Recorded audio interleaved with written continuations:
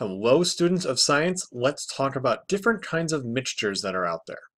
Solution is made up of a soluble compound, which is a compound that can be dissolved. When we're talking about a solution specifically, that is a homogeneous mixture of two or more substances that are uniformly spread out in a single phase. So let's focus on some of the terms here. When I say homogeneous, remember homo means the same, so they are filled out and spread out evenly throughout the entire solution. They don't sort of clump in one area there. So it's at least two substances and they're uniformly spread out. When you put food coloring or dye into water like that, you'll see how this is evenly spread out. So single phase, all liquid, and it's uniformly distributed throughout the entire solvent. So solvent is the medium that dissolves. That's the one that's in a greater quantity. These are somewhat subjective terms, solvent, solute. Typically we say the ones that's a greater quantity is solvent, the one that's lesser is solute. If you were to have like a 50-50 alcohol-water mixture, it's really kind of arbitrary which one you're calling solvent and which one you're calling solute. For most of what we're talking about though, solvent is usually going to be water. So the solute are all these different little particles we see evenly distributed in one phase throughout this entire solvent. Here we can see a solid goes into liquid, evenly distributes, we have a solution. So we have different types of solutions that are out there. So if I was to take a gas and dissolve it in another gas, an example of that would be oxygen in nitrogen. The air is 78% nitrogen, 21% oxygen. So we would say that oxygen is dissolving inside the nitrogen.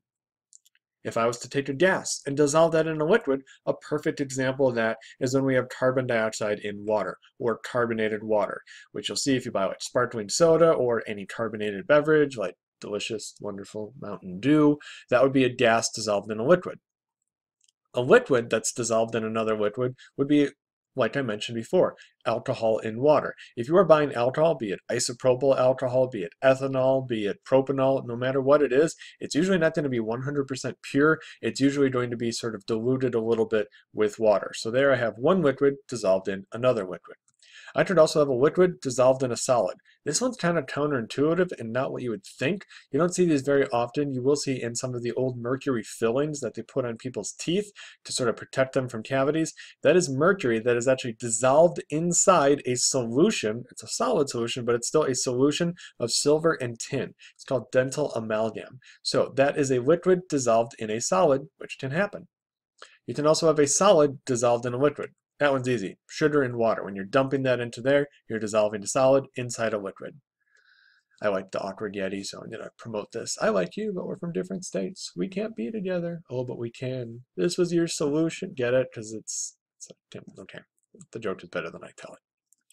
And we could also have a solid dissolved in another solid. Kind of weird to think dissolving for this, but really, when you have an alloy, which is a combination of multiple metals, that is like, you know, one metal dissolved in another. When you have copper dissolved inside nickel, that's where you get Monel and some of those other very, very strong nickel alloys.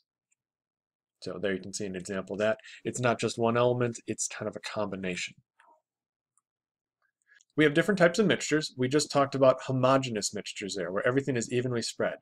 Now we're going to be talking about heterogeneous, and you'll see in this case here, hetero meaning other, opposite, different. You can see they don't evenly spread out through the entire solution. They sort of clump together so it's not the same throughout. You'll get some differences. So we have suspensions and we have colloids. A suspension is a heterogeneous mixture, so remember, we're not talking smoothly mixed, now we're getting clumps in there, where particles are going to settle out if you leave them alone. So here we can see we have a, not solution anymore, suspension, and we have these very large particles, they will aggregate and they will clump near the bottom. Any particle that's larger than a thousand nanometers, or about one micrometer, will start making up suspensions. For comparison, human hair is 30 times larger than the minimum size for this. So if you were to take human hair and cut it up really small and put it in water, it would settle out. The hair is going to settle to the bottom because it's much larger. One micrometer and above, which is pretty small still when you think about it, is going to be making up a suspension. You could actually separate out a suspension with filter. So let's say you took hair and you mixed it into this big bucket of water and you ran it through a filter, the filter would pull out the hair. So suspensions do not survive a filter. So here's my mixture, goes through here. The residue is too big to fit through the filter, so we have a filtrate that does not have the compound that I filtered out.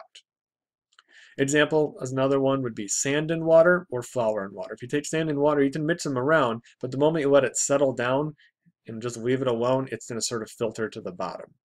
A colloid, on the other hand, is a heterogeneous mixture, so it's like a suspension. However, they have intermediate sized particles, so these are smaller than that, 1 to a 1,000 nanometers. So here's my true solution, like let's say salt and water colloid a little bit bigger, suspension much larger. So we're talking about the ones that are sort of in the middle here. You cannot separate a colloid with a filter.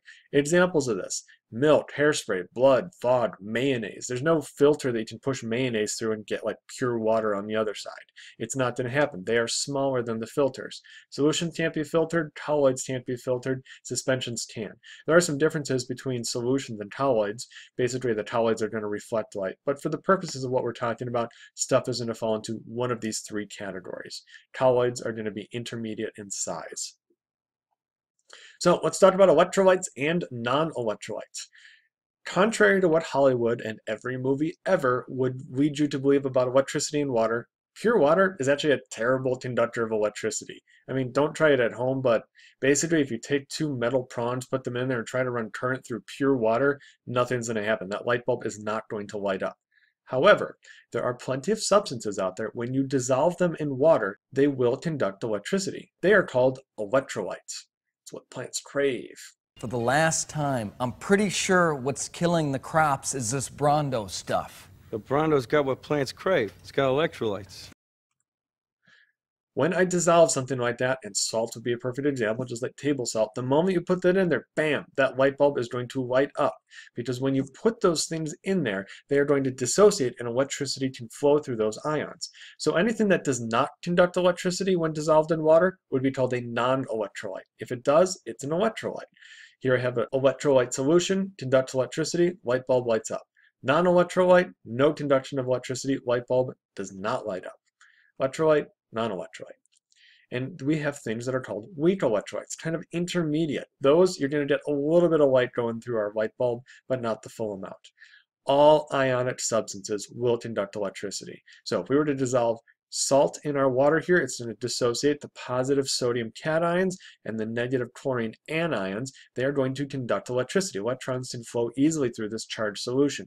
However, if you took sugar and you dissolved it in there, you would get this right here nothing would happen.